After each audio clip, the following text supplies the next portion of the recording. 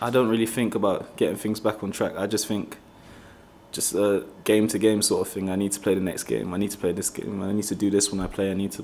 I normally just think game to game. I don't really think about oh I need to get my career back on track. It's not something that really I think about. I let other people talk about stuff like that, but I'm just focused on playing game game by game. So Blackburn then as a as a challenge, what what's your assessment of them? Um, I know my my mate plays for them, um, Adam Armstrong. Obviously, I came through with him at Newcastle, so when I signed for Sheffield Wednesday, we spoke about this. And he thinks he's going to leave one on me, but um, yeah, um, I'm looking forward to the game. I've seen them play earlier this season against Newcastle as well in the cup game. They're a decent team. They try to play. They've got a few good players, so should be a good game. So he thinks he's going to stick one on you. So you said what to him? I said, make sure you wear your shin pads. but, uh, we'll see what happens it. It must be great to have that banter to yeah, know that yeah. one of your mates is going to be on the, the opposition. Yeah, we were really close because we were the youngest ones in the group uh, when we were breaking through at Newcastle. He's a year younger than me, I think. So yeah, we were like the little kids in the in the changing room. So yeah, like, we're, we're very close. We keep in contact.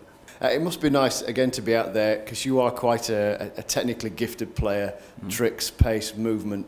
To be out there expressing yourself. Yeah, that's um that's a big thing for me. Like if if I don't feel like I can express myself, I kind of lose my identity. And the gaffer's giving me belief that I can go out there and do what I do naturally, and it's working for me and it's helping the team. So yeah. you've obviously got a, a, great manager at Newcastle, but there's one here too as well who who knows the, the territory, as it were. To, yeah. to, to be under a manager like Steve Bruce, for you and the rest of the players, how much of a uh, of a confidence boost is it to have that kind of steadying hand from yeah, a manager? It's massive. Like, even with the fans, like you can tell that they're everyone's happy for him to be here, and it's no different for me. Like he's given me an opportunity, and uh, he's obviously giving me the opportunity to express myself as well. So that I'm buzzing to be here and I'm buzzing to be playing under him. Yeah, it's been sweet that they haven't lost since um, I've been here. I'm not, I'm not saying it's down to me because there's 11 players on the pitch and plus the other players, but yeah, it's it's, it's good to have that little yeah.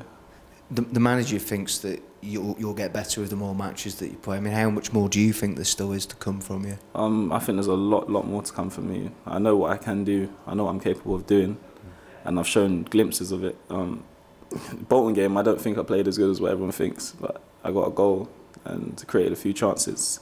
I wasn't extremely happy with some of my end products, but that's something I'm going to be working on and something I can improve on, obviously. So yeah. Uh, did you did you get a bit of stick from the lads for uh, going in the the wrong uh, changing room the other day? um, do you know what it was? I was listening to some Drake and I was in the zone, like, getting ready and I don't know, it's confusing there. It says players, players, players, so I didn't really read the second word and I was heading down the tunnel apparently, but yeah. I did get a bit. Lads let you forget about that yet? Or I've, I've made me forget about it.